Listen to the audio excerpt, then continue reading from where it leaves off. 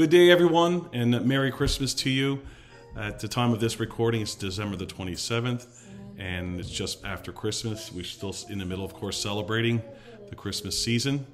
And as we end another year, can you believe it? I want to take a moment and thank you for your rhythm of faithful giving in 2023. Thank you for your investment into the life and ministry of this amazing church. And as you reconcile your year end giving in the next uh, couple of days, we really have three year end giving challenges that we are asking you to be a part of so we can effectively uh, end the year with a strong financial position and touch the lives of others around us. Our first one is this it's your tithes and your offerings that fund the ministries and operations of this amazing church. And when you give, you are investing in the many ministries that touch so many lives, including your family, on a weekly basis. And our second uh, challenge is our missions goal of $65,000. Bethesda's always been generous to missions, whether it's been commissioning people to go or giving generously to our annual goal. We are touching the lives of people from Southeast Asia, Africa, in, in our province and Labrador. Our third uh, challenge is giving to our forward offering. And as you know, we are in the middle of a building needs assessment to determine the challenges in this building and dream for our future.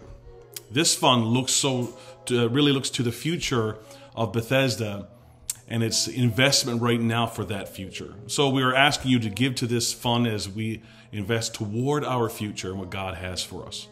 And lastly, our four St. John's Christmas projects. And by this time, all of our projects are completed. We were a part of 14 plus different projects which impacted hundreds of people, spending thousands of dollars through our care fund and, and the giving that you have, have done through uh, the Four St. John's Project. So thank you for that. How amazing is that? Our heart's posture in this season is outward toward the many needs at this time. And so our four year end giving challenges are both ministries inside the church and touching lives of others outside the church.